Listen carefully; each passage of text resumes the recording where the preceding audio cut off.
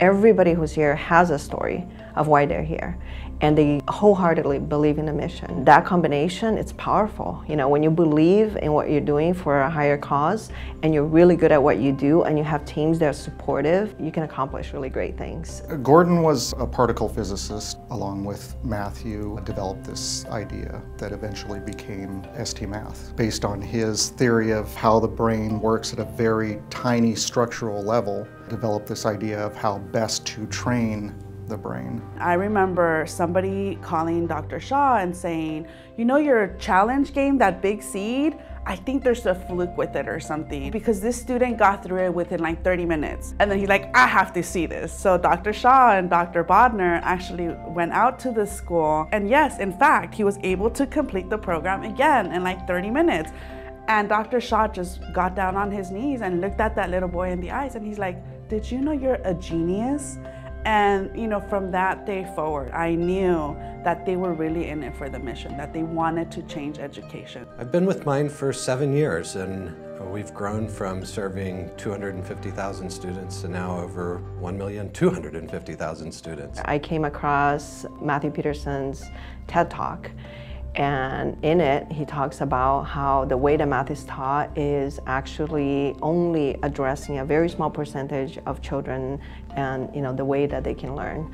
And that the way the math should be taught should be much more visually and uh, interactively. So if words are not needed for great math and science thinking, then maybe words aren't needed for great math and science teaching.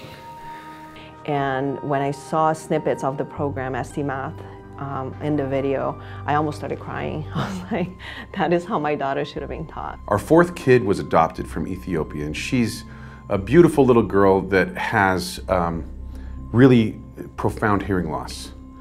And so hearing that uh, teaching math without language was a priority here became uh, very important to us.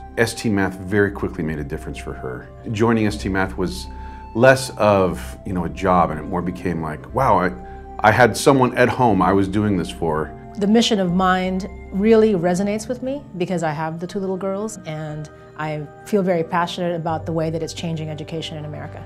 Their approach to education and experiencing math as a human endeavor attracted me immediately and I knew as soon as I uh, found out what Mind was and what it was all about that I had to work here. We have always been the kind of innovative leader in the space and to be part of a group that is trying to look out and anticipate what the next big thing is going to be, the next big breakthrough.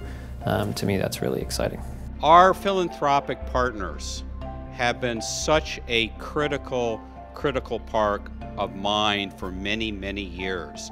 And your passion and support for what we do is really, really appreciated. We, we would not exist and we would not be anywhere near as successful as we are without all your help. I think what excites me the most is the results and the numbers and the real quantitative evidence that kids are learning math at a younger age, at a higher level of proficiency. And that to me is groundbreaking and really exciting.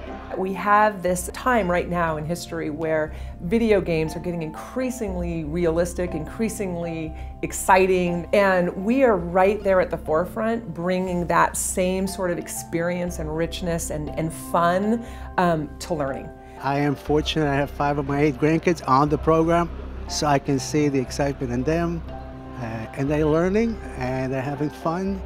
And when you have fun, that's the best way to learn. There are so many more tools that are now at our disposal and so that presents a number of opportunities I think for an organization that is as innovative as Mind is to take from those things and build them into effective learning solutions for students. So what has me very very excited about the future of Mind is the forward thinking, the creativity and the transformative thinking that Mind is bringing to bear on the education of math.